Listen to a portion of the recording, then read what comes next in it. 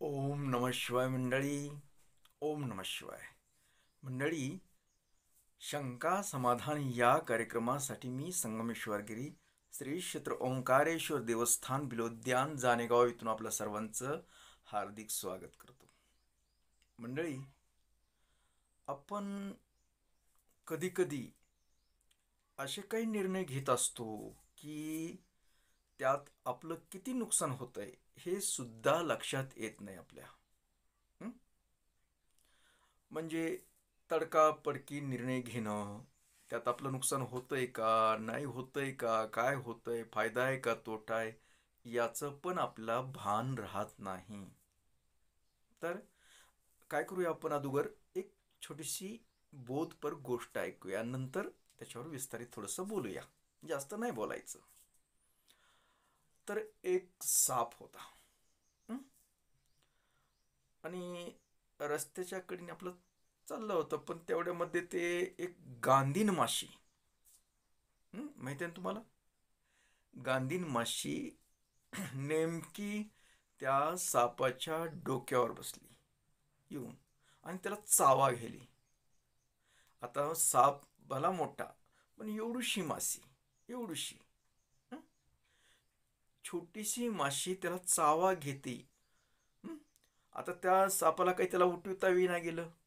चावा घ्यायची त्याला खूप बेजार करायला त्याला. सापाला खूप राग आला. खूप राग आला. आणि मग त्याला चळू का पळू असं झालं. पण काय करतो ते काही करता तेवढ्यामध्ये त्याला काय झालं? समोरून एक गाडी येताना दिसली. बैलगाडी येताना. मग त्या सापानं काय करावं? पटकिनी गाडीच्या चाकाखाली मुंडकं घातलं. का घातलं? आलं लक्षात की जेणेकरून ती मासी मेली पाहिजे. तिचं नष्ट झालं पाहिजे. चौदा मंद झाली पाहिजे. हा त्यानं निर्णय घेतला.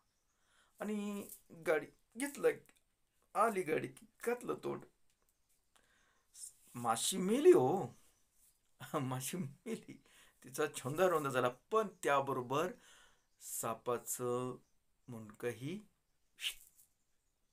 साप झालं. आता आले का नाही पंचन? तुम्हाला समजलं? तर तसंच आहे आपल्या जीवनामध्येही.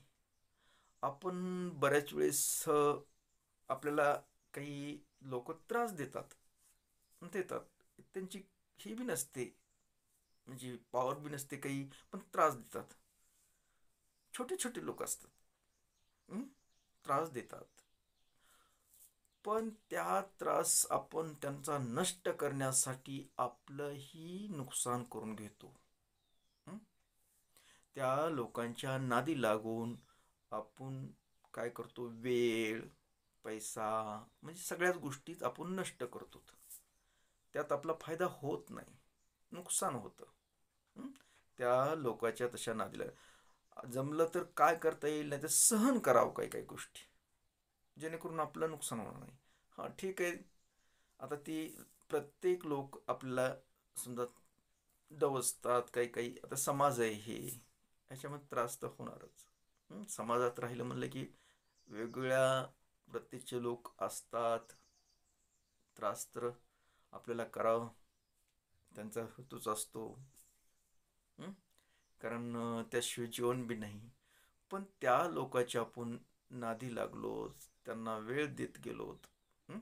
मला असं का करतं तसं करतं? म्हणून जर त्यांच्या नादी गेलो तर आपलं नुकसान होतं. वेळ पैसा सगळ्याच गोष्टी नुकसान होतं. तरी सांगायचं तात्पर्य म्हणजे अशा लोकांच्या नादी न लागणं आपला वेळ पैसा बर्बाद न करणं. कारण कसं कधीही आपण प्रगती कुठली करायला लागलो तर ही व्यक्ती येतो. मग करायचं त्यांचा नष्ट करायचं तर त्यांना चांगली आयडिया वापरून आपलंही नुकसान होणार नाही याची दक्षता घेऊन वागावं. म्हणजे फायदा होईल. नाहीतर काय आपण ते असल्या चुरकुटच्या आधी लागतात आणि आपले स्वतःचाही नष्ट करून घेतान हां नुकसान करून घेतात तर असं करू नये एवढंच सांगायचं की कुठलेही निर्णय घेताना जरा योग्य निर्णय घ्यावेत. म्हणजे आपल्याला त्यापासून त्रास होत नाही. त्रासो हो आज. एवढंच. परत भेटूया. उद्या सकाळी याच वेळी आणि याच ठिकाणी. तोपर्यंत मंडळी ओम नम शिवाय. जय हिंद जय भारत. सुखी रहा आणि समाधानी रहा.